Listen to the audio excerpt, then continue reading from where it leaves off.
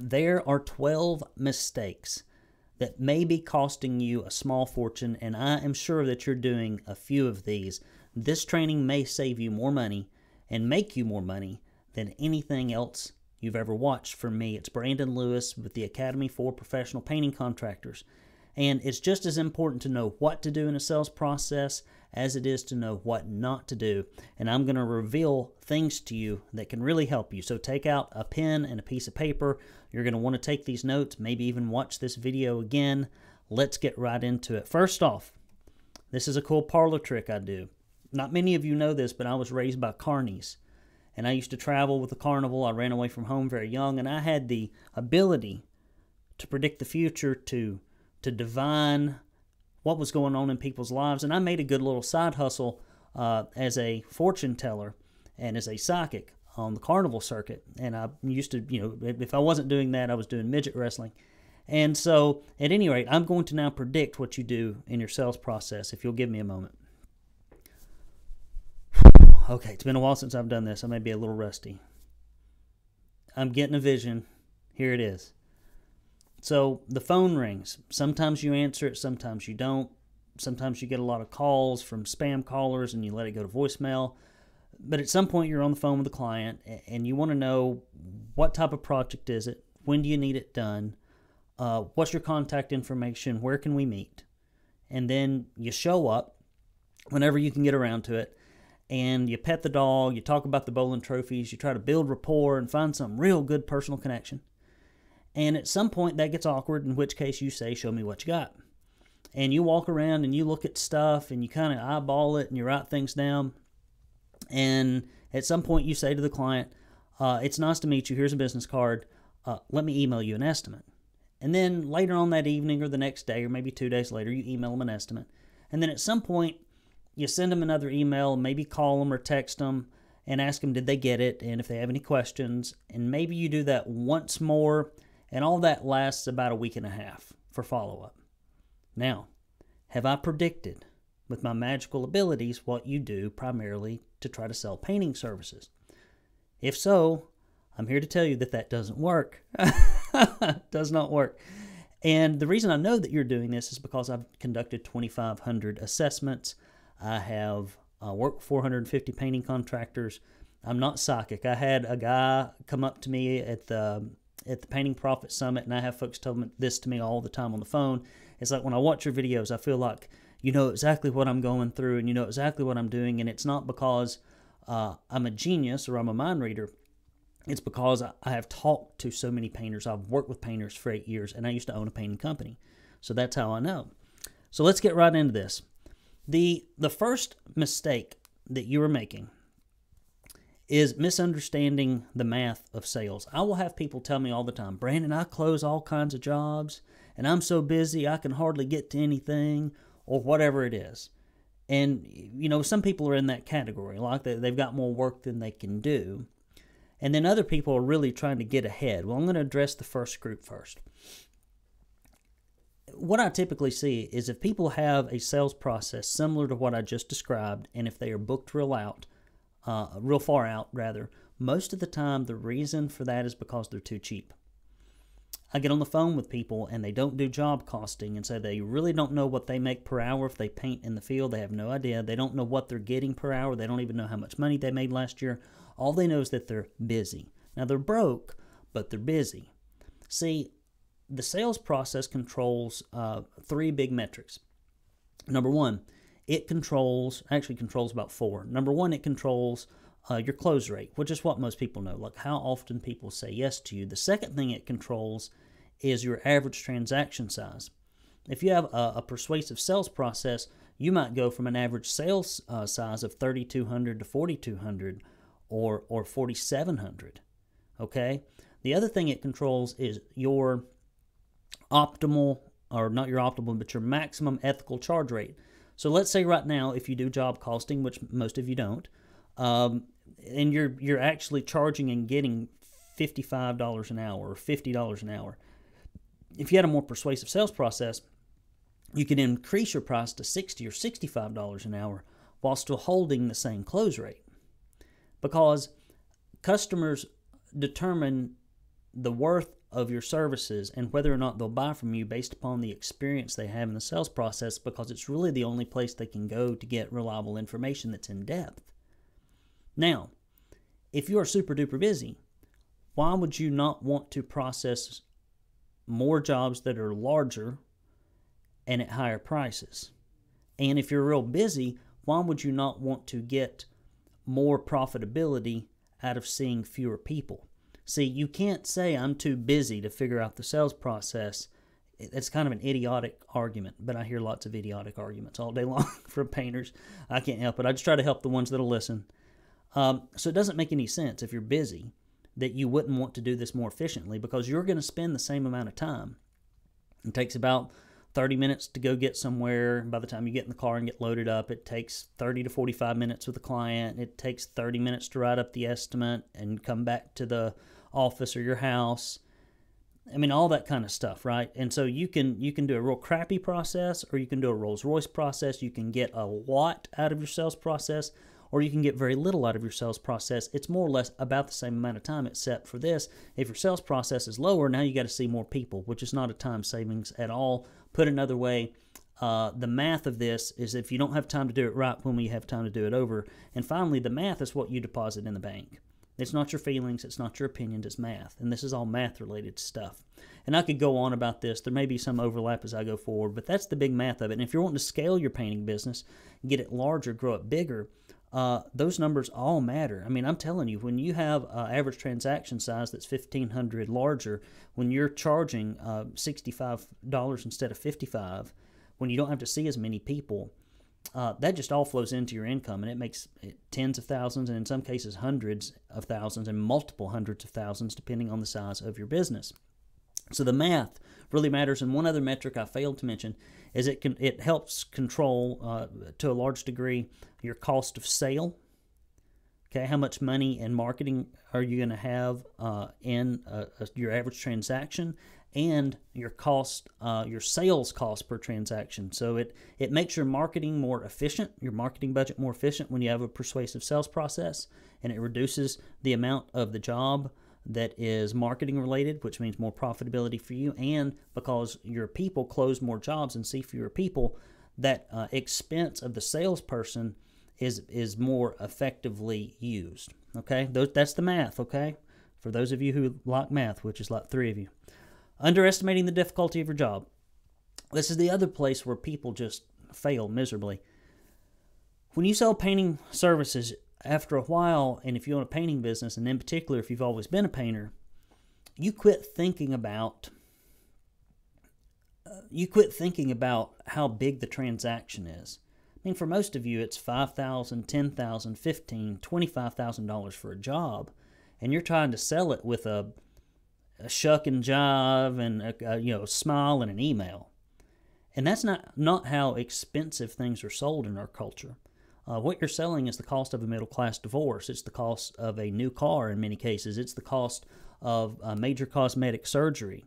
It's a huge expense. Often, when people write you a check for uh, your painting services, it's the largest check they will write all year, maybe for two or three years. And you can't be casual about it, and you can't underestimate the difficulty of the job that you have. Not only that, you are selling a very high priced uh, uh, service very expensive service in, in what is now a pretty darn shaky economy.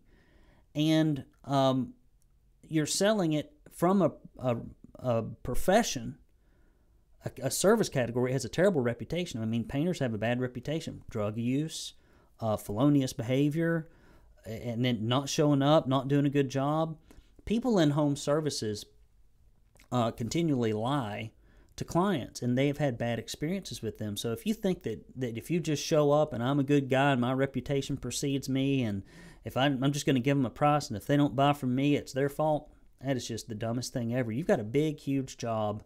Uh, this is a, a every time you see a client to sell a large job in particular, but really just any job, it's it's amazingly risky to the client, which leads us to the next thing. You've got to see things from the client's perspective. You do not write yourself checks. You don't write yourself checks. You don't swap your own credit card. Therefore, your opinion about the sales process does not matter. because you don't get to make the decision. Like your opinion is beside the point.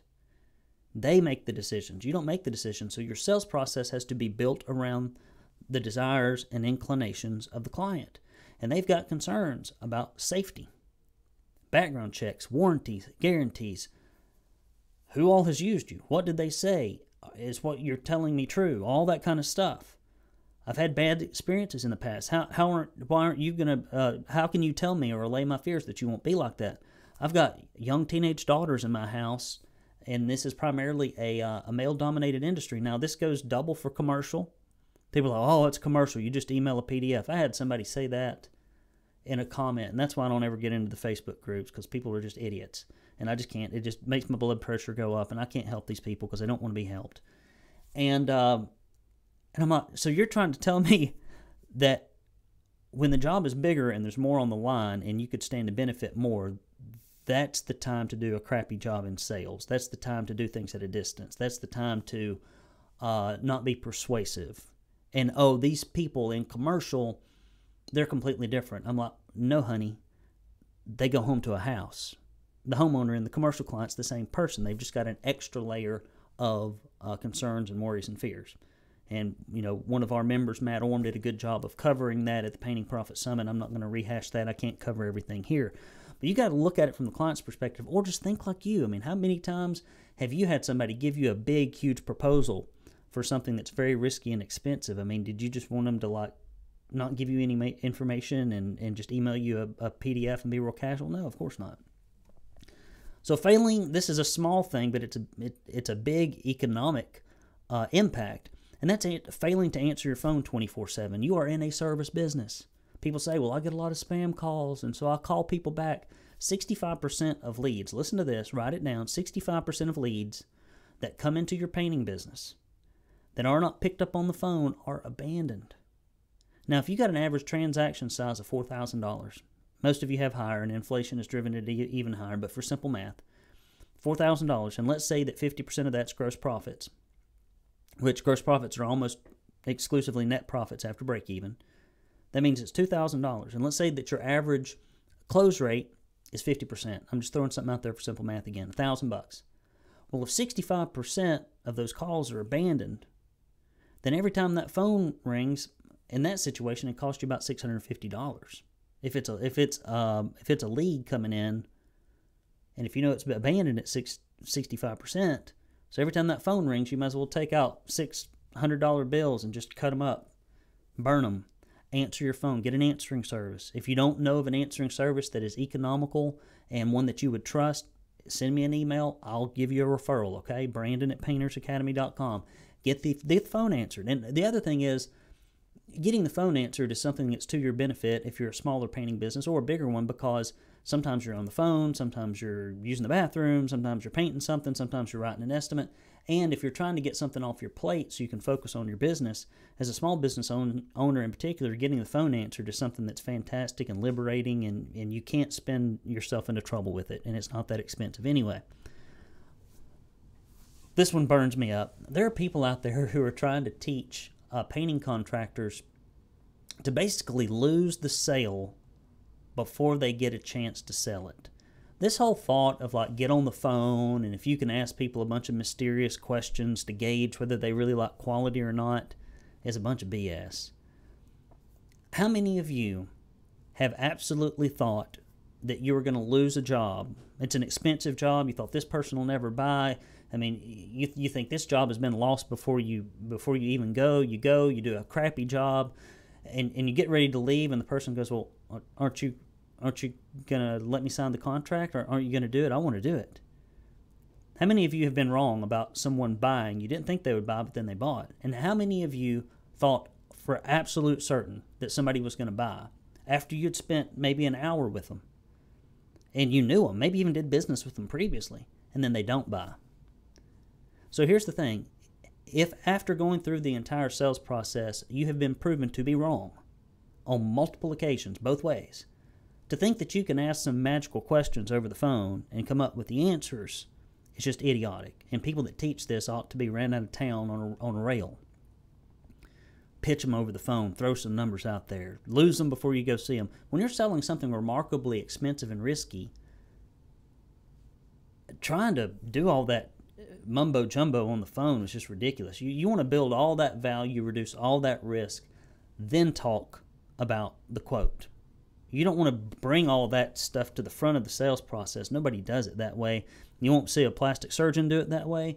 You, you won't see a, a, dental cosmetic surgeon do that way. You won't see a, a, an upscale funeral service do it that way, or a, good attorney, or a renowned uh, advisor of any sort, because it doesn't work.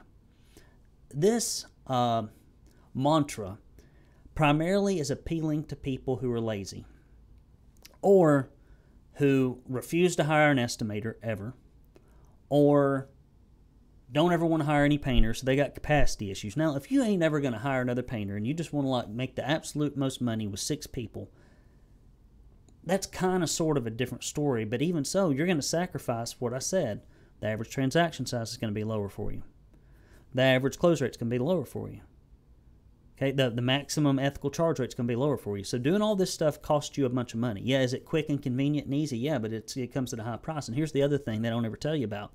Most of these people that recommend this stuff, they also don't preach what I preach, which is staying in touch with clients because that repeat transaction is 65% bigger than uh, the first transaction. And now that person has uh, additional value because they can refer you. A new client can't refer you. So you've lost that future transaction revenue for 10, 20, 30 years, however long you want to be in this business. So this whole, well, I just try to get rid of them on the phone and the ones, I mean, just, it's just nonsense. It's nonsense. And it, and it is trying to appeal to the lowest common denominator with the least understanding of metrics who is lazy and or has a very limited mindset. This is a, a bad idea all the way around. Misunderstanding the sections of the sales process. You've got pre-positioning, which is everything that happens from the time you answer the phone until the time you arrive. That time needs to be used to the utmost.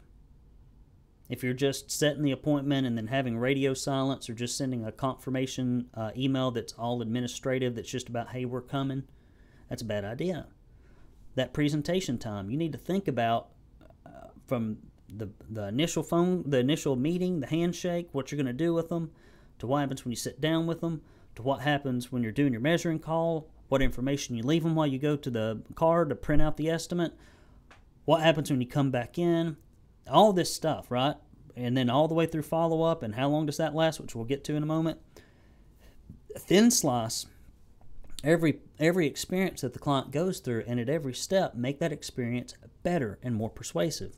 It's not just one big gobbledygook mess. It needs to be sectioned out and every section has different things you need to do. Here's a good one. This really doesn't have anything to do with the persuasive elements of sales, but it does to a degree. If you're not taking measurements and other people are, you look like a goon. Not taking measurements is the same thing as if you go to a restaurant and you place a complex order and somebody else places a complex order and somebody else places a complex order and, and the lady or guy, the waiter, the waitress never writes it down and just goes, uh huh, uh huh. You know all those orders are going to be wrong. You're going to send them back five times the shortest pen is better than the longest memory. And if somebody else measures and you don't, it just lets them know that you're guessing. Guessing doesn't work. I've tried this experiment over and over again. I may be doing it at a speaking engagement just as a parlor trick here coming up. You can put four people in a room, make them all guess the labor hours. You'll get four different guesses. Has no reality, has a huge variance. You can't take a 10 foot board into the back of your yard and cut it exactly six feet without a tape measure. Can't do it. It'll be five and a half feet. It'll be six inches and six uh, feet and three inches. It'll just be all over the place. Yet you think you can go to a house and that you can just eyeball it and guess something that has maybe 50, 60 different measurements soffits, fascia, square footage of siding, number of doors, number of windows, you know, handrails, decking, steps, and that's on every side of the house. You're going to guess all that, right? And it's going to be accurate without, without a whole bunch of variance. If you got 20% variance and you're shooting for 50% gross profit, 3 over 5 or 2 over 5 is, is either over or almost over half your profit. Guessing doesn't work. You can't teach somebody to cock their head to the right and pull a number out of the ether. It is the most ridiculous thing, and people try to persuade me that they can do it, I've never seen anybody that can It's the number one reason every painting franchise in existence can take somebody with zero painting experience and turn them into someone who can accurately estimate to a degree that is more proficient than somebody who's been doing it for 30 years out in the field. Production rates. If you don't have them, don't know how to develop them, reach out to me. We have a course for it. We have a course for the whole sales process as well. But guys, guessing is ridiculous. Nobody goes to a pizza shop, orders a pizza, and then the cash register looks back at the cook and goes, "How much is this pizza?" You do you paint the same 20% of surfaces 80% of the time. Measure it. You wouldn't go down to a track and look at it and well, it's about 10 minutes. No, you'd set you'd you'd set a clock, you'd start running, you'd stop the clock, and that's how long it takes to run a mile. Same thing on these surfaces. All right, I don't want to belabor that point. So, tradespeople have a reputation for verbally promising the moon and giving people a moon pie. They are liars. if you, I mean, most people's experiences with home service providers are about 60% negative, mine included. And I think I, I, I've fallen into the trap of hiring some real dumbasses over the years. You know, the cobbler's kids never have shoes, right? And so when you go to show up to somebody and you're just good old, my reputation precedes me, Bob, and you just glad hand and we're going to do this and I make all these verbal promises. Well, guess what? Everybody else makes a bunch of verbal promises too. Now, very few companies deliver. And because of that, uh, this is the way that this would be like, if you could think about it from the client's perspective, which is something we just talked about. It'd be like if you went into a warehouse and it was completely empty and there were three, uh, three cars in there. Three cars, they all look the same to you. All three cars have car covers on them, so you can't see the cars. But there are three salespeople. They stand beside three cars. All of them are good glad handers, and they're going to promise you just about the same thing. All of them hand you a business card. One of them gives you a price of twenty thousand, one twenty-five thousand, one thirty thousand, but the sales presentations are the same, and the information you receive is the same. Which car do you buy? The cheapest one, probably this does not work. So if you're going to tell them uh, that your guys are good, give them background checks, show them pictures of them, put bios in your sales. If you're going to tell them you're going to stand beside behind your work, give them a written satisfaction guarantee and maybe some testimonials from other clients and pictures and handwritten notes and uh, reviews pulled from their native environment that you do stand behind your guarantee. If you went to a court of law, you could not tell a judge, "Well, judge, I'm a pretty good painter." And that's not proof. You'd have to bring in documentation and witnesses to testify to and to provide third party evidence that you're good. So those things should be in your sales process before, during, and after the sale. So when people compare their experience with you and another painter, number one, the experience is completely different. The messaging is completely different. The proof is different. The tools are different. The feel is different. Everything's different. But if everything's the same, but you're trying to be a premium price painter, good luck. Trying to sell by email. This is a very this is a, uh, a, a a specific thing, but it's an important thing. Email doesn't work. It's idiotic. Trying to sell something really expensive by email is one of the dumbest things that I hear people try to justify in this industry. when I ask people what they do in their follow up when they sell by email, I, I call them and text them to make sure they got it. Wait a minute. Let me get this straight. The thing that makes all the money for your family which is the customer saying yes to the estimate and signing the contract, is put in a place that is so routinely lost that you think that's a good place to put it. If you put your car key somewhere and it was only there, the car keys when you woke up in the morning were only there like, I don't know, 30% of the time, 50% of the time, would you keep putting your car keys in that spot? No, you wouldn't. Important things do not get put in places where they are lost. Print out your estimate on the spot. Ask for the job on the spot. We'll get to that in a moment.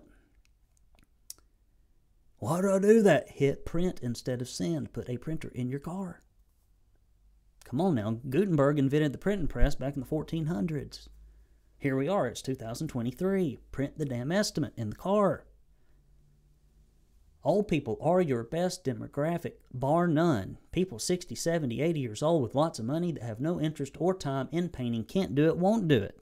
They don't want to hunt through a billion emails on AOL and Yahoo where they get 100 to 200 emails and things are spammed and cut out. And now, if they want to share it with their spouse, what are they supposed to do? Leaf through there, find the thing, print it out, show it to Earl? The hell they will. When you print and leave an estimate, they have to take an action to discard it. When you email an estimate, they have to take an action to keep it. Do you see the difference? If you can't see the difference, you can't be helped. I'm going to move along. You might as well just not even listen to the next point because you're hopeless. Not asking for the sale. This is one that perplexes me.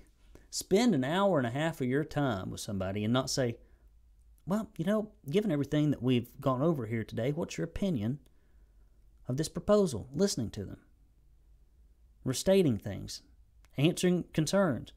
Well, with everything we've discussed here today, would you like to go ahead and move forward so we can put you on the production schedule? Yes or no? Yes. Would you mind signing the contract? It's the only way that we can get you on the schedule. Push it across the table, get the signature. If you've tuned out, tune back in. The number one indication of the persuasiveness of your sales process is this number your on site close rate. Of all the jobs you see, what percentage of them say yes while you're there? And if you do a good job and you have a persuasive sales process, you'll close about 30 to 35% to 40% of all the jobs you ever close on the spot, even ones that are $15,000, $20,000. Our members routinely do it. I know it can be done. Well, you can't done bull crap. You don't even know. You run one painting business, one painting business. That ain't like working with 450, and running one ain't like fixing them. Those are two different jobs. This is the kind of stuff that fixes them, okay? So you ask for the damn business. If you've not heard no twice, you hadn't asked. Now, you don't have to be pushy, you don't have to be bossy, you don't have to be ugly, nothing. But you, you need to learn how to ask for the business and then try to get the real objections out of people and deal with them and then ask at least one more time. You know, if you didn't like doing this, then don't own a painting business. You're in sales.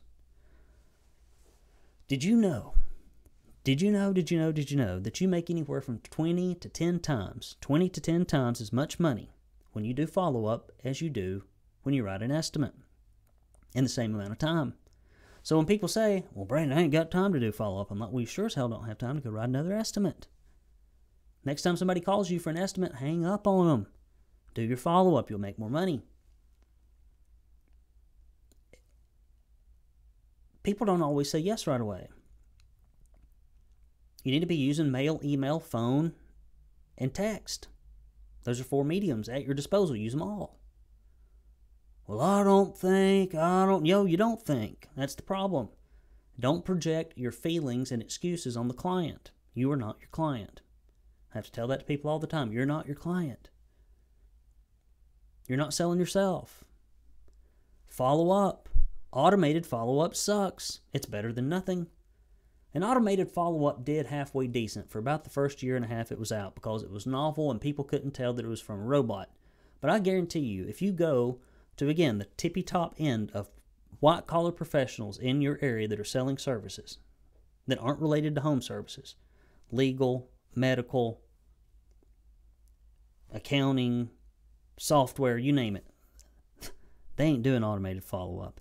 This is high end, large transaction selling. It has to be sold a certain way. If you want to make white collar money, you have to sell like a white collar professional. When people can tell that it's automated and it's got an unsubscribe button and it looks like a bunch of junk and text three to opt out and all that crap, it doesn't work. I know because I've had people change from automated to good old fashioned personalized follow up, which is not hard to do and makes a ton of money. I mean, there's nowhere else in your business you can put money and time and get as much out of it hardly as putting your money and time into follow up. Hire somebody, stick them in a seat. They come in on Tuesdays and Thursdays. They work 10 hours a, a, a day or 10 hours or 10 hours a week rather. I just don't get it. If you've gone to, you spend an hour and a half doing all this mumbo jumbo, you ain't going to spend an extra 10 15 minutes to properly follow up with people. Doesn't make any sense. It's illogical. Don't let your emotions make your decisions because you don't get to deposit emotions at the bank. Next time you go to the bank and you deposit a check and you think it's a little smaller and your account's a little smaller than what you want, go up to the teller and tell her about your feelings. See if it helps you make any money. Probably won't. If it does, let me know the bank you go to. I'd like to go there. Here's another one. Inaccurate assumptions about the length of the sales cycle. Did you know the average American takes 68 days to make a $500 major home durable goods purchase? and about 40% of them, I think, go to the store uh, three times or more to touch it, look at it, and think about it. You're selling something that's $5,000, $10,000, $15,000, and you expect that whole thing, that whole cycle to wrap up in a week and a half or two. You are crazy. People take months to make these big decisions. Your job is to hang in there with them until they say yes. Now, finally, this is very much like planting a tomato plant. You plant a tomato plant, if there's not tomatoes on it two weeks from now, you're going to cut the thing down? No, you know that some things take a while. Well, this is one of the things that takes a while. And some of those tomatoes are going to come in early in the season, you know, maybe even March. Some of them going to come in in September, depending on your climate. Your job is to be there when the tomatoes turn red and to keep the chipmunks and the squirrels and the bugs off your tomatoes. Or in this case, of selling to keep other painters away from your clients.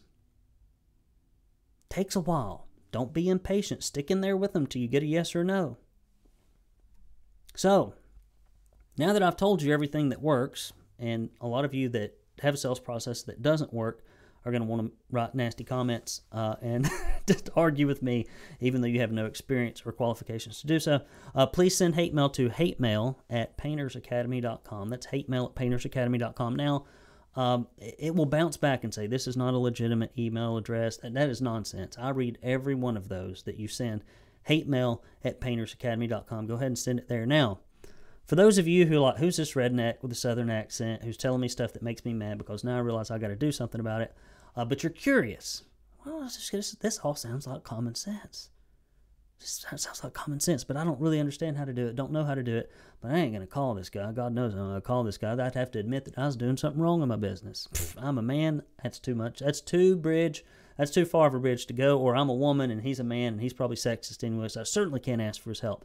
So for those of you who are curious but not committed, you can go to paintersacademy.com and download this report. It's a slightly different cover image, but this is what it looks like on the website. Five keys for finding success in an uncertain economy. This is what it looks like. You can't see it. I'm not holding it in front of the camera very well, but that's what it looks like.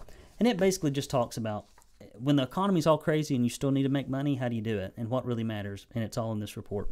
And finally, all for those of you who are super duper brave, who realize that, that sales is important, as is marketing and client reactivation and retention and operations and production rates and getting online reviews, maybe even selling your business, getting some equity in it, uh, fi- finance, cash flow, managing painters, recruiting and hiring, and you're like, I don't know how to do all this stuff very well. I just went from being a painter to a crew leader to an owner, and I've been doing this for a while, and the money and the millions and the billions and the hundreds of thousands are not uh, piling up like I'd hoped they would. Email me. This is what I do all day long. Every day is just help painting contractors be patient. I'm in the middle of my busy season. I'm about to go to PCA Expo, which I hope you'll join me at if you're going toward Albuquerque. I'll be speaking on Wednesday at 10:30 Mountain Time, I do believe. Um, how to get to 30% cash flow. Look at your programs. And I just got out of the Painting Profit Summit where a whole lot of people joined and I'm just onboarding folks, and I'm, I'm a little bit behind, but I am catching up. Uh, but although I'll get behind next week when I'm out of town. So if you email me, Brandon at paintersacademy.com, if I don't get back to you right away, I will eventually get to you. And for whatever reason, if it's been a little while and you think I didn't get it, just hit it again. And you can always call the office 423 800 0520. Uh, usually Jennifer answers. You may get the answering service. And if you do, leave a message, and FUR, which is what we call Jennifer for short, will call you back. That's all I got, guys. In closing, um, sales is like this mechanism. So here, here's the mechanism and all the leads come into the mechanism. And uh, all the leads come into this mechanism. And if this mechanism sucks, a few leads come out over here, and the leads are smaller and they're worth less money. And they're hard, and the, or the jobs are smaller, they're worth less money, and they're harder to get. But if the if this thing is really good, then the leads come in here and they're bigger, and they're more profitable, and they're easier to get. But everything goes through this. And once you fix it once, then things go through here forever and they're worth more money. I mean, it's just, and it takes less time. So it's idiotic to keep this thing crappy unless you're just a dunce. So let's fix this as quickly as you can. Brandon Lewis here with the Painters Academy, flying through this on a Friday. Got to go fight. Listen, I stayed here late, and I'm going to fight rush hour traffic going up to Signal Mountain to help you with your sales process. The least you could do is email me for a diagnostic. It's a guilt trip. Guilt trips are free. uh, unlike vacations, which cost more in today's economy. Uh, the guilt trips are always free. So there's a little guilt trip for you.